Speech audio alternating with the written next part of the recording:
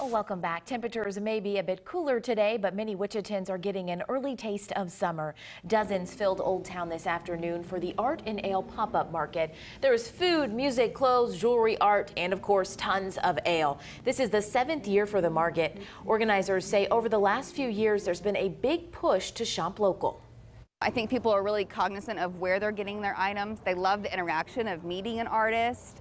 And it's just, I think we feel pride in when, even if it's just a coffee mug, if you're filling up that coffee mug in the morning, you're going to remember that good time you had. If you missed the market today, Hot Handmade is hosting another market at Riverfest featuring nearly 100 vendors.